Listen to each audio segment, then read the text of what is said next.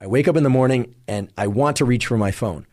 But I know that even if I were to crank up the brightness on that phone screen, it's not bright enough to trigger that cortisol spike and for me to be at my uh, most alert and focused throughout the day and to optimize my sleep at night. So, what I do is I get out of bed and I go outside. And if it's a bright, clear day, and the sun is low in the sky or the sun is you know starting to get overhead what we call low solar angle then i know i'm getting outside at the right time. If there's cloud cover and i can't see the sun i also know i'm doing a good thing because it turns out especially on cloudy days you want to get outside and get as much light energy or photons in your eyes. But let's say it's a very clear day and i can see where the sun is. I do not need to stare directly into the sun. If it's very low in the sky I might do that because it's not going to be very painful to my eyes. However, if the sun is a little bit brighter and a little bit higher in the sky, sometimes it can be painful to look at. So, the way to get this sunlight viewing early in the day is to look toward the sun. If it's too bright to look at directly, well, then don't do that. You just look toward it, but not directly at it. It's absolutely fine to blink. In fact, I encourage you to blink whenever you feel the impulse to blink.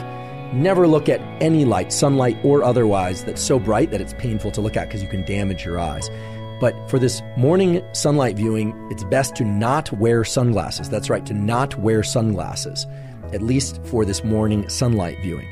It is absolutely fine to wear eyeglasses or contact lenses, so called corrective lenses. In fact, those will serve you well in this practice or this tool because they will focus the light onto your neural retina and onto those melanopsin intrinsically photosensitive ganglion cells.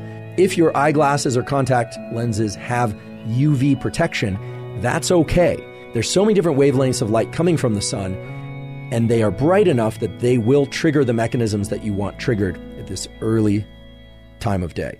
So try and get outside, ideally within the first five minutes of waking, or maybe it's 15 minutes, but certainly within the first hour after waking. I want to share with you three critical things about this tool of morning sunlight viewing. First of all, this is not some woo biology thing. This is grounded in the core of our physiology. There are literally hundreds, if not thousands, of quality peer reviewed papers showing that light viewing early in the day is the most powerful stimulus for wakefulness throughout the day, and it has a powerful positive impact on your ability to fall and stay asleep at night. So, this is really the foundational power tool for ensuring a great night's sleep and for feeling more awake during the day. Second of all, if you wake up before the sun is out, you can and probably should flip on artificial lights in your internal home environment or apartment or wherever you happen to live if your goal is to be awake. If you wake up at four in the morning and you need to be awake, well, then turn on artificial lights. Once the sun is out, however, once the sun has risen, then you still want to get outside and view sunlight. Some of you will wake up before the sun comes out, and if you're asking whether or not turning on artificial lights can replace sunlight at those hours, unfortunately, the answer is no. Unless you have a very special light, we'll talk about what kind of light.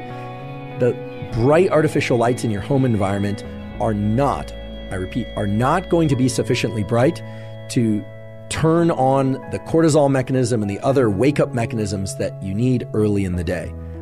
The diabolical twist, however, is that those lights in your home or apartment or even on your phone are bright enough to disrupt your sleep if you look at them too late at night or in the middle of the night.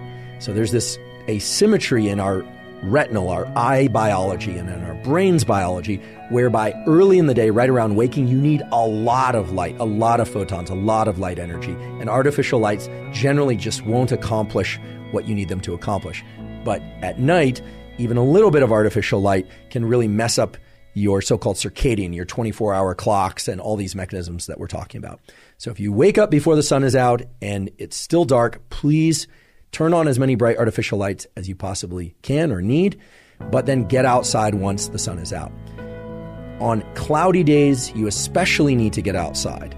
I repeat, on cloudy days, overcast days, you especially need to get outside and get sunlight. You just need to get more of it.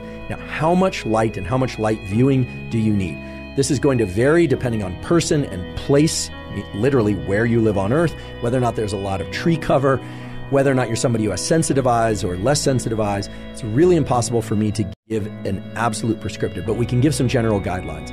in general, on a clear day, meaning no cloud cover or minimal cloud cover, you want to get this sunlight exposure to your eyes for about five minutes or so. Could be three minutes one day, could be seven minutes the next day, about five minutes. On a day where there's cloud cover, so the sun is just peeking through the clouds or it's more dense cloud cover, you want to get about 10 minutes of sunlight exposure to your eyes early in the day. And on days that are really densely overcast or maybe even a rainy, you're going to want to get as much as 20 or 30 minutes of sunlight exposure. Another key thing is do not forget about, just don't try and get this sunlight exposure through a windshield of a car or a window, whether or not it's tinted or otherwise. It takes far too long. It's simply not going to trigger the relevant mechanisms.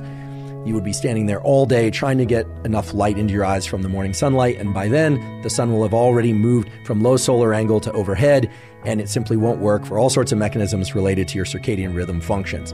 So just don't try and do it through a, a windshield, sunglasses, or a window. It's just not going to work. Get outside. If the weather is really bad or for whatever reason, safety reasons, you cannot get outside, well, then I suppose try and get near a window. That would be the last, last resort. But you really want to get outside to get the sunlight exposure. Now, if you live in a part of the world where it's extremely dark and overcast, or the weather won't let you outside, or you live in a cave or some other small box that does not allow any natural light into it for whatever reason, well, then you're going to need a replacement for that sunlight. And there are sunlight simulators or daylight simulators that you can purchase. Those are quite expensive in general. And therefore, I suggest cheaper options that work just as well because they get just as bright. Things like ring lights that are sold in order for people to take selfies and this kind of thing. A drawing LED tablet will work pretty well. I actually have one of those and I put it on my desk all morning, even though I still get outside and look at sunlight first thing in the morning. Again, also, especially, I should say, on cloudy days. We do not have any affiliation to any ring lights or LED lights or these panels. So we will provide a link to a couple of different options if you want to explore the various options. I don't know what people's different budgets are. I don't know where people live. I just know that many of our listeners live in locations throughout the world where, for instance, during the winter it gets very, very dark, so they can't get sufficient sunlight. But get that morning light, ideally from sunlight, and take into account all the specific points that I've given you here. And I should say, enjoy this practice.